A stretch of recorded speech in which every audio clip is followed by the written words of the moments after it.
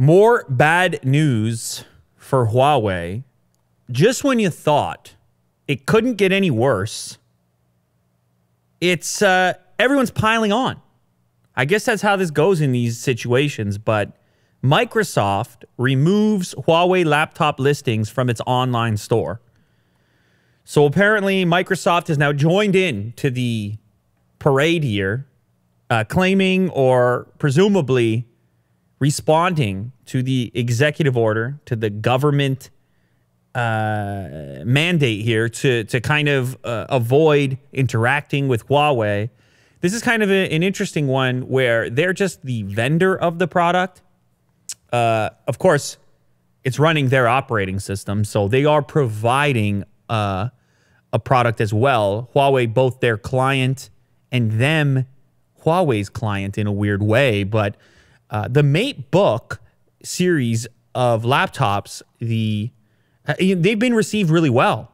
They they kind of are MacBook clones, but most that have interacted with them, I actually haven't had one yet, but I've watched a number of reviews and content on these laptops. People really like these things. In, in some cases, the claims have been made that they're some of the best Windows laptops that are out there. Kind of similar to the reception to Huawei's latest flagships in the smartphone department. There's the MateBook, the, there's the MateBook X Pro that Will is showcasing with a tiny little slim bezel around the outside. It's, it's like all display. Uh, the deck is incredibly MacBook esque, and I can see that being offensive to some users, obviously. Uh, but nonetheless, as you can tell here, Microsoft piling on and getting rid of these laptops. Now, it's not official, it's not a statement. The article that I'm looking at here just says that the listings have vanished, and apparently, some individuals have gone to the physical stores and they're still there. So, they're probably going to be selling off pre existing inventory.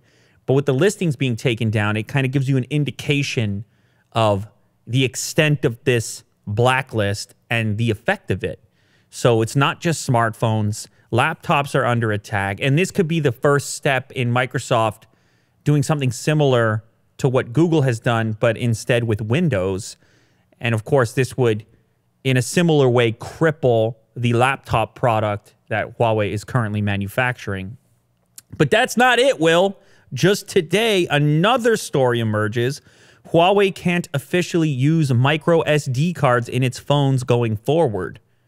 So the company has been barred from the SD Association. I didn't even know there was one, but there there's an association, kind of like USB and, and various other protocols, and they they they they set the standards for these various technologies. In this case, SD, micro SD, and so on. And the SD Association has confirmed to Android Authority that Huawei's removal from the group was due to Trump's executive order making it the latest blow to the besieged Chinese company. So, as a result, they can't officially state that they support micro SD and SD. That said, they should continue to work, obviously. It's not like they can turn off a switch, but it's a restriction and it's another indication of the uphill battle that Huawei has to face living on this technological island where there, you know, where they there's no allies. It's just them, no SD support, uh, no Windows support, no laptop support, no smartphone support, no Google support. It's unbelievable, man. It is a, a real sticky and tough situation, and it continues to increase in complexity as all of these various organizations, manufacturers, brands, and so on begin to comply with this executive order, you're you're beginning to see just how far reaching an order like that actually is. And you gotta it's it's just a tough position to be in right now if you're Huawei. What are you supposed to do?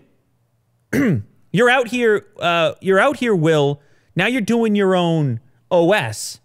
Now you're trying to design your own chips because of the ARM situation. Now you're trying to, you can't get displays from Japan. Now you can't, uh, if you want to do an SD card, it can't be officially supported. You can't put the logo on the box and, and, and on the device itself. It's like every single one of these things that piles on, you realize the power in that executive order.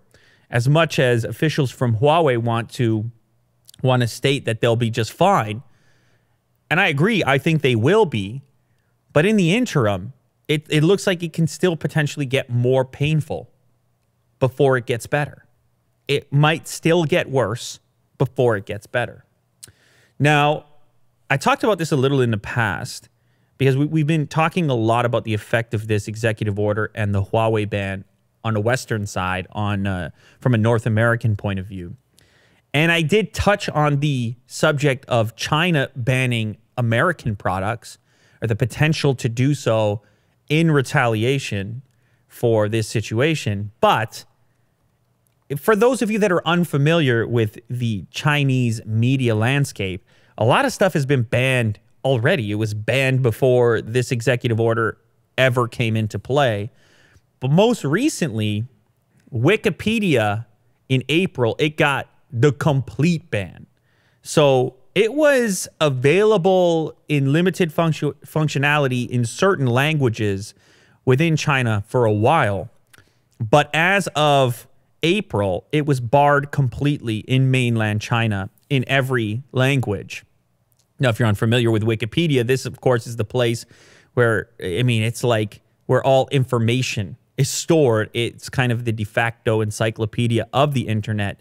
It is uh, user generated content, submission based. There's no, uh, um, the revenue model is based on donations and it's uh, like user and expert contributions that go into it. And it's available, as far as I know, everywhere in the world except for China. Actually, I think there's also a restriction in Turkey because there was something published on Wikipedia that the government of Turkey wanted taken down. And uh, and Wikipedia refused to do so. Also, it looks like Venezuela is not too happy with Wikipedia. So there's a handful, but you can add China to that list. So it's not just Wikipedia either. Of course, there are plenty of other American based websites and companies that are blocked as well, including Google, Facebook, YouTube, Twitter, Instagram, Pinterest, and thousands of other domains. Now, to those of you watching from China, or if eh, you happen to be a person that frequently travels to China, you know that it's commonplace to use a VPN while you're there in order to unlock all these various sites and services that you probably want to use. Will's got an even more comprehensive list here, including Tumblr, Snapchat, and a number of other common websites that are definitely going to be blocked, at least officially blocked without a VPN for locals in China. So, once again, I think it's important to cover both sides of the spectrum just to recognize that as much as I've been criticizing uh, this policy here in North America, and I've been encouraging the free marketplace idea where competition can be free flowing and take place, the, the, the, the pendulum swings in both directions here. And it's not necessarily it's not completely rosy on the other end of the spectrum either from a China perspective. So there's a lot of stuff blocked over there. Wikipedia is a tough one because it's a resource, it's a utility. It's used frequently in higher education as a as a um, a place to research and and also cite various sources, get to the bottom of situations. I'm a regular Wikipedia user. In fact, you, you think about an internet without it, and it's like, man, I don't even you want to read on some subject matter, you want to get to the bottom of something. There it's one of those products, I mean it's not a product because it's it's free. It's the free encyclopedia, but it's one of those web utilities that there's not a great substitute for, at least not that I'm aware of. I'm sure there there there probably are, but Wikipedia a valuable resource. Would you agree with that, Will? Yeah, remember uh, thesaurus? No, not thesaurus. Uh, encyclopedia on CD. You're talking about Encarta. Encarta, yeah. Encarta, it was a must-have. In fact, when you got a new PC once upon a time, you had to get Encarta with it. Yeah. Because it was like, you, you know, you could say to your parents, "Hey, I need th- I need this for school. Mm-hmm. I need to have Encarta on there." And prior to Encarta, will there were actually physical encyclopedias you would put in your house. Yeah, that's what I meant. Yeah. Yeah. Like full on books. Encyclopedia Britannica. Mm-hmm.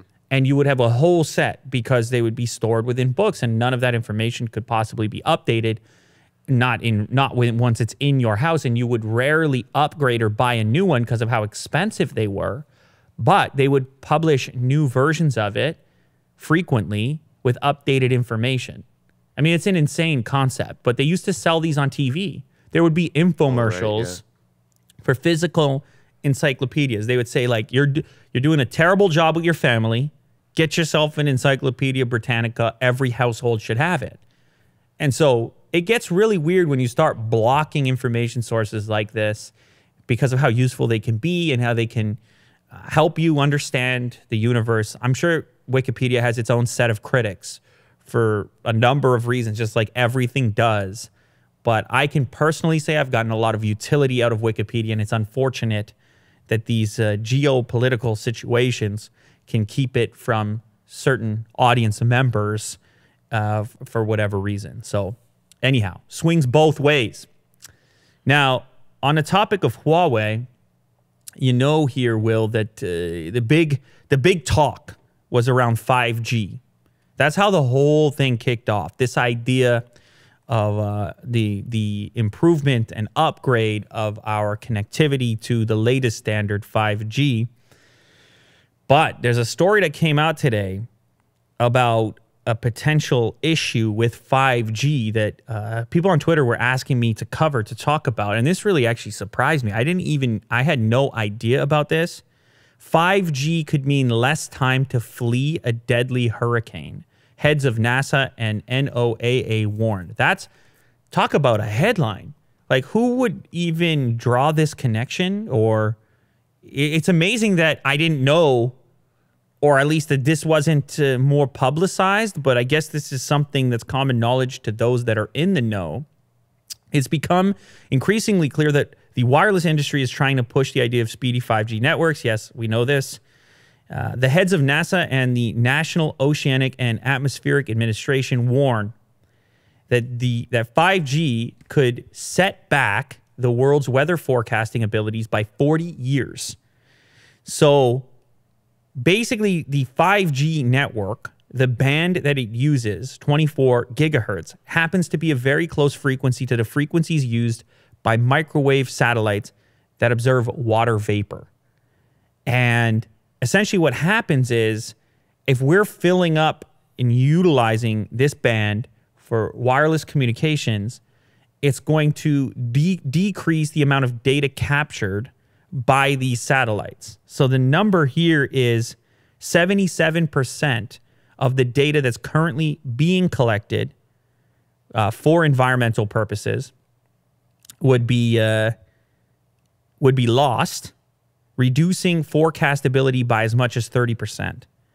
So, in other words, storms and other natural data, ocean data, and so forth that can be useful for predicting what the, the future weather and risk factors would would just be it would be impossible to to uh, obtain it because of our uh, us occupying that band for other purposes. I didn't know that this was a potential issue with 5G. Other people have speculated. I've got a number of emails in my inbox about like health, potential health side effects of 5G. A lot of that, from what I can tell, is speculative at this point. It's very hard to get to the bottom of that particular subject. I mean, I would love to possibly have an expert sit in this chair right here or maybe two experts arguing either side of it because it seems to be an incredibly complicated subject. But here we have experts from the NOAA and from NASA themselves saying, hey, this is a real thing, and here are the numbers. So I guess people are going to have to weigh out the benefits and drawbacks here. But essentially, what they're saying is if you had some major hurricane coming, there's a chance that just because we want faster internet connections here on the mobile, that we're not going to know about this hurricane until two or three days later than we otherwise would have. What a cra- what a crazy side effect, unexpected side effect of one of our many human advancements. But it always seems that there's some kind of that nothing comes for free. Will like it's, it, I don't know, man. You push, pull, you give, you take. We talked about it. There's always a sacrifice. It's like there's always something going on. So it's, it's interesting to discover this prior to the full full scale 5G rollout, but an interesting read nonetheless. And I'm sure there's more depth to be uh, investigated. There's there's more to uncover in this particular department. Uh, some Galaxy Fold update here. Best Buy cancels all pre-orders for the Galaxy Fold. Uh, I don't. A lot of people want me to comment on this. It makes sense. I've been Mr. Fold for a while here. Uh, I'm not surprised by this though, to be quite honest. Like a lot of this just has to do with the mechanics of how these sales systems work. You just can't have this open-ended pre-order without any information. Nobody, uh, no company wants to be on the hook for delivering something that they're not sure if they're actually going to get. They made a really nice claim, a really nice statement about how Samsung is still working on it and uh, cutting edge technology like the Galaxy Fold is uh, ambitious and blah blah blah the whole the whole thing. But alongside saying that, they also said, okay, we're gonna completely cancel pre-orders at this point because we have not received a date from Samsung of uh, uh, regarding the eventual launch. So we just we just don't want to be all tied up in it anymore. And I gotta say, as much as I'm not surprised, what could this possibly be an indication of? Like, why would Samsung not be in touch with Best Buy? That's a big vendor. You think Best Buy or you think Samsung could be like, okay, like we can give you a rough idea here. Maybe they did give them a rough idea. Maybe Best Buy wasn't happy with that rough idea, or maybe that rough idea was further along than Best Buy was willing to deal with. It's quite possible.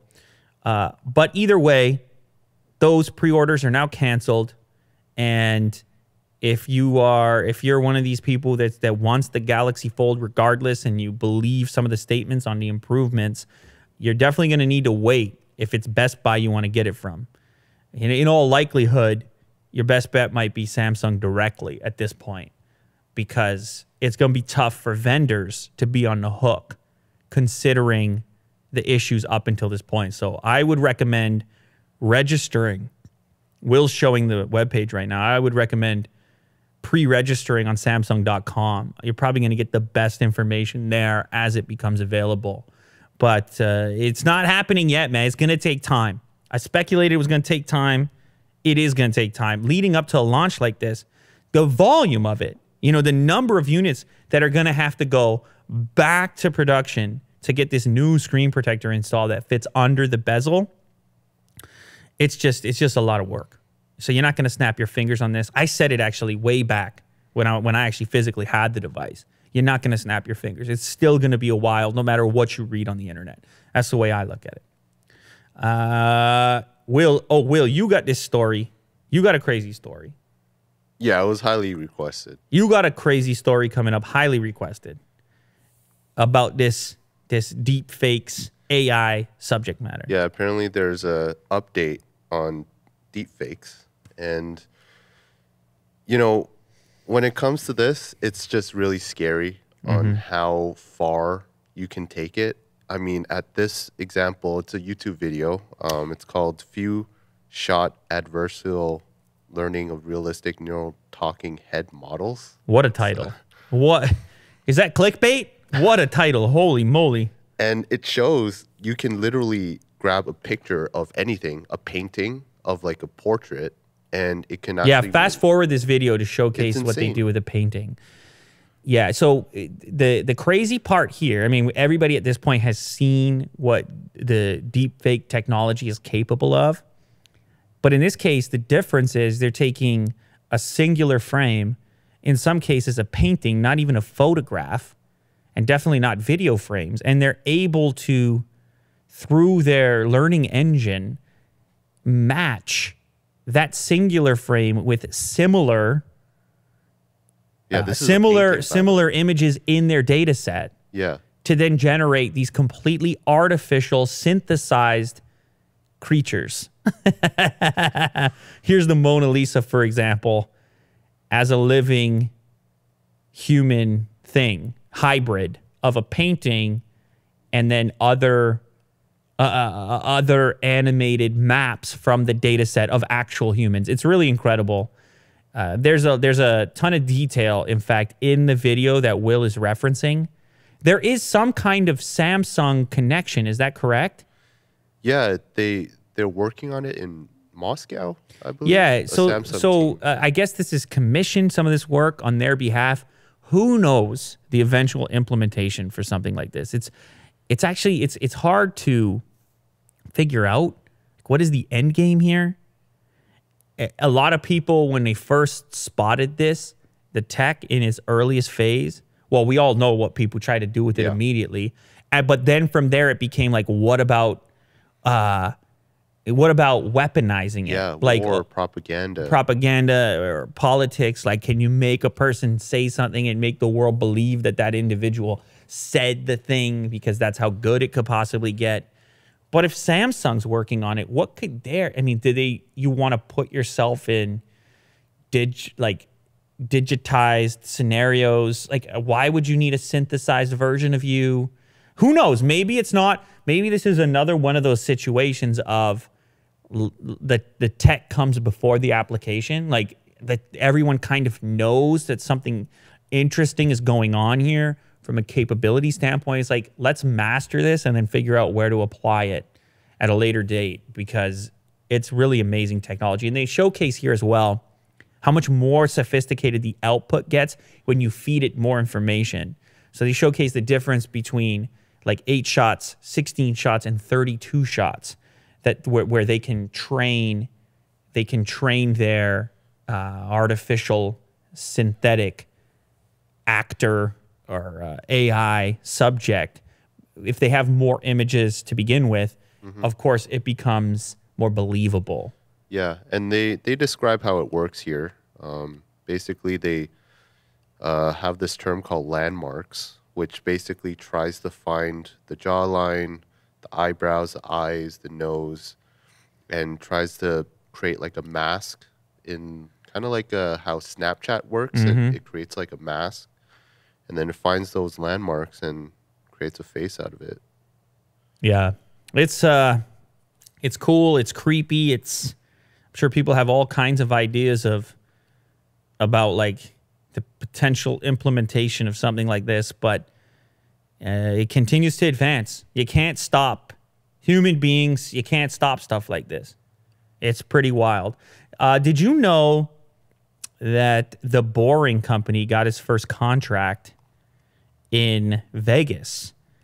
a $48 million contract. So up until this point, they've just sort of been doing some test runs on this uh, underground transportation. Now they got a real customer in the in the form of Las Vegas. They're talking about putting a tunnel, a loop, a mass transit system to go back and forth to the convention center. They're hoping to launch it in a couple years at CES and it's supposed to transport 4,400 passengers per hour at up to 150 miles per hour. That's, I mean, that's a crazy speed, obviously, for a little little transit system. But of course, this uh, this is utilizing some of the advanced technology that you've seen showcased in some of the uh, some of these um, some of these drawings, I guess, or, or uh, projections or experiments of like how this transportation could possibly work. There's an image actually as well of how like if this like futuristic train car and what it might look like. Of course, I've been to CES many times, and there is an issue moving human beings around Las Vegas. It could really utilize something like this. Uh, the convention center hopes to time the opening of the loop with the 2021 Consumer Electronics Show. So Las Vegas continues to try to push itself as this like tech hub, as the more traditional gambling identity becomes less appealing. Uh, I guess people are, are not as into it as they once were. And so they're diversifying their economy using CES and, and their their um, their kind of central the, them being the central focus of the bigger biggest electronics show gadget show in North America at least they continue to utilize that to then build out this identity as a as a tech hub here will is showcasing a video of the speed with which a vehicle can travel in one of these tunnels compared to sitting in gridlock on the surface. It's really amazing tech. It seems super efficient and very cool. Of course, it's got to be delivered. There's going to be Wi-Fi down there, cell phone, intercom, ventilation systems. It'll be an it'll be 0.83 miles for about 50 million bucks. So these things are not cheap. That's for sure. But it could be a cool proof of concept to then possibly roll something like this out in other cities and uh, maybe even eventually Elon's complete vision of being in a car and just diving underground when gridlock strikes. What are you laughing about over there, Will? What do you got? It's just like when the car made it, the he's still in the red light. Like it's crazy. Yeah, but he's at a, oh, the other dude is still at the same Yeah. red light. Yeah. yeah. Well, his speed was 127 miles per hour. I mean, that's incredible. Like that, uh, that's Yeah, way better than insane. freeway speed. It's it's nuts. I mean, it's obviously better. It's the problem is digging holes. Mm-hmm. Digging holes is hard, man, and cost it costs a lot of money, takes a lot of time, and has the potential to disrupt the surface. Uh, of course, there's in any of these congested cities, there's a lot of stuff going on on the surface. You want to dig a hole under people. I believe there's already two lawsuits in Los Angeles County against the boring company, people that are not happy with the idea of tunnels being burrowed underneath there. Yeah, here it is right here. They've been sued. The boring company has been sued by at least two neighborhood groups in Los Angeles. They did not want tunnels near their homes. So it's it's a lot to, to get something like this going. But when you see it in action, you kind of start to understand like what the proposal is and why it's cool. Anyway, Will, you got a couple questions for us today or what? Uh, yep. One second here. I should let all of you know as well. You've been watching this show for a while now. If you want to get your questions on the show, just got to remind you all you have to do is email will at lewlater.com. It's really that easy. Here's our first one. Hey, massive fan of you guys. Keep doing what you're doing. Okay, thank you very much, Connor. What do you think is the next smartphone fad that manufacturers chase after? E.g., who has the highest megapixel camera, biggest screen to body ratio, etc. The next one, besides folding, folding seems like the obvious choice considering like Motorola's going after it in a different kind of form factor. We've talked about small phones in the past, like maybe a race back to portability could be a possible fad that's being chased after. Uh, screen technology, battery technology, there's a few different ways to slice it. What would be interesting? I mean, there's there's kind of what I think will happen or is the most predictable. And then there's also just what I would like.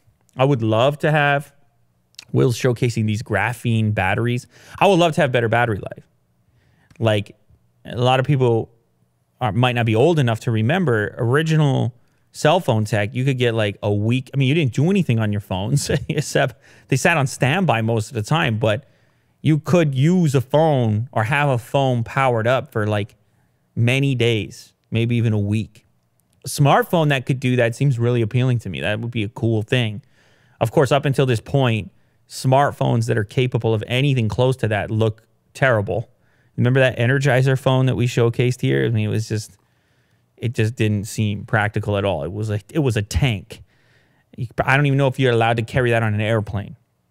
It's just wild. I mean, the power consumption is still there, and we just this particular area hasn't advanced at the pace that I think a lot of people had expected or hoped for. So I think that could be a cool, cool place to start from my personal taste. But I think the folding phone thing is is has a more of a wow factor to it, where people can be asking like, "Whoa, what is that?"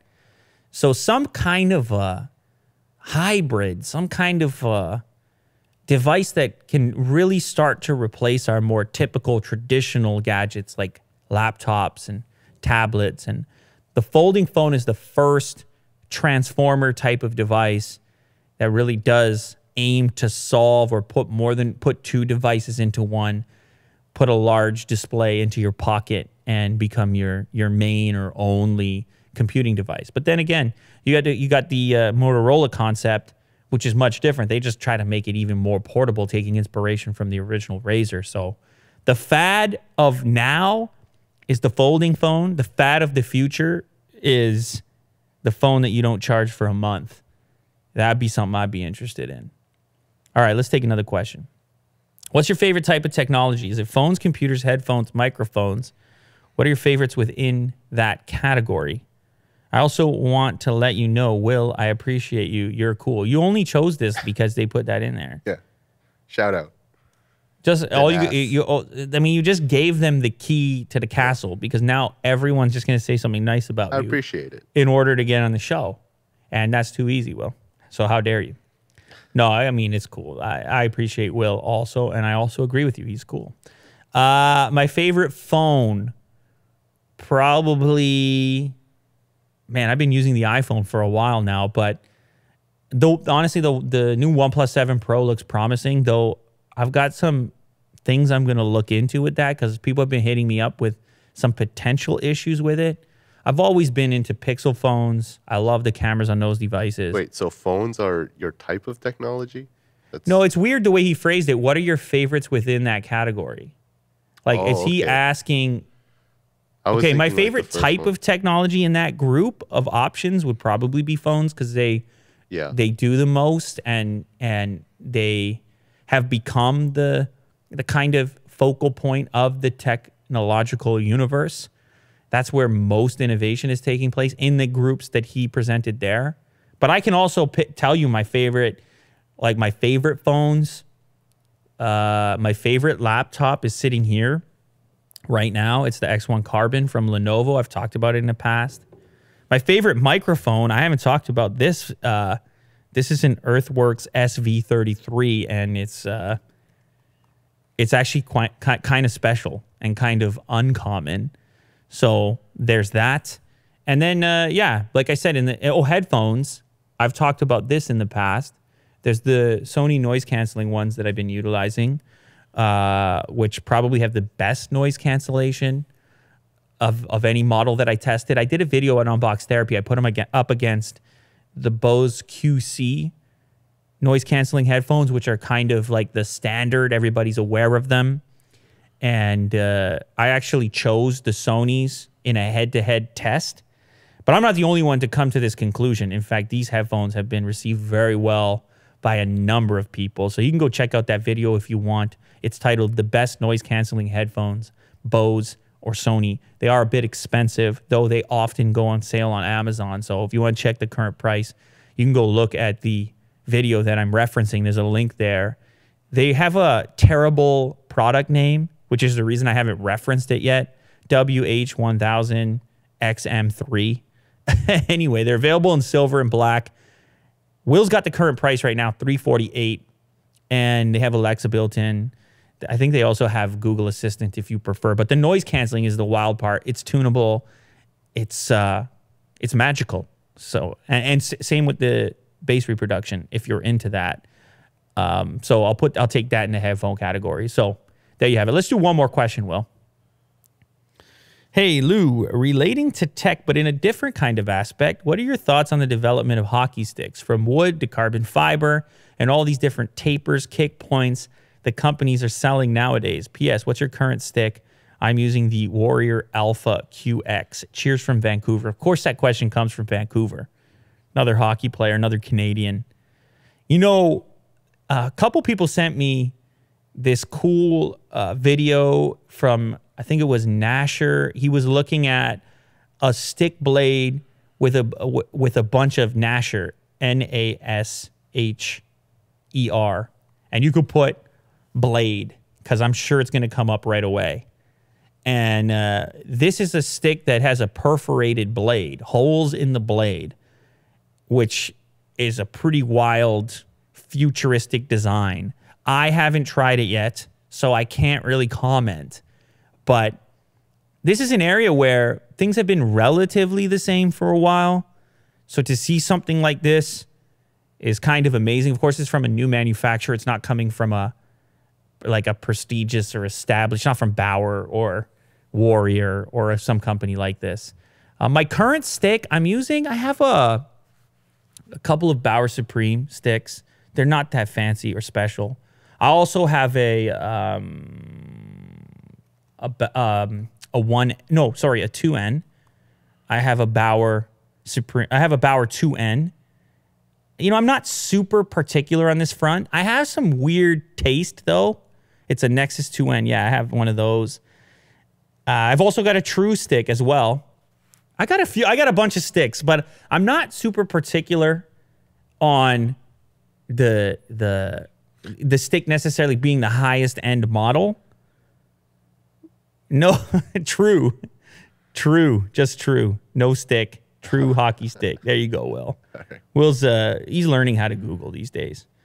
So which one of these do I have? No, I have the XC9. Here's my thing I am particular about though. I'm particular about the curve and I'm also particular about the grip. I do not like a grip grip on the shaft. I prefer a slick, a relatively matte finish on the shaft itself. And I like a heel curve, a very uncommon type of curve. That's where I would get particular.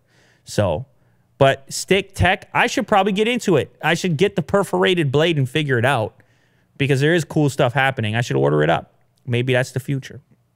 Anyway, we covered a lot. We covered it all from Huawei's issues to hockey stick tech to Will and his weird deep fakes obsession, which we're all aware of and uh, we'll never really get to the bottom of, to be quite honest. Nope. But that's just Willie do for you. He'll, no one will ever get to the bottom of what he's up to. It's how he lives his life. It's very intriguing. It's been wonderful being here. You probably noticed the new table. Well, if you're watching, not if you're listening. There's uh, there's this really. There's a, I'm sitting in front of a tree now. It's an a. It's an ancient. I don't know how I don't know how old this would be to create something like it's a really it's a wonderful it's a magical piece of furniture. It smells good. It's uh it, it's a whole mood. It's given me a whole mood, and I'm very excited about it. And I think I think it's going to uh, inspire me. In fact, to to keep getting after it. Will that's what uh, that's what I'm hoping at least. Maybe not. Could be a disaster this could be all downhill from here. Mm-hmm. Could go either way, but that's what's fun about it. So, thank you very much for joining as usual. And we're going to see you again soon, whether you like it or not.